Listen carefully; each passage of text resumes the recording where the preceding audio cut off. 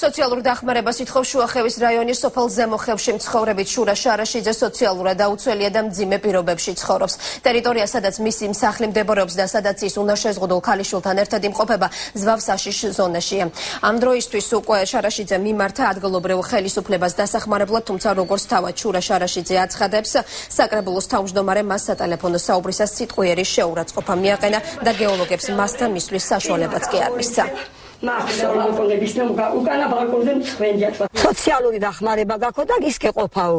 სოციალური დახმარება ქვებს დაამაგრებს 54 მანეთი ორი სულის. საბჭოს თავმჯდომარემ საკრებულო. ნევრის კაციბაძემ. და რაო რა თქვა? და გამთიშა და კარგიაო, ახიაო. ახია ისიც არ უთქმია ქართული ლაპარაკიც აიც. რა მუსტაღია შენ მაქმარმო მიგატოვა აქაო.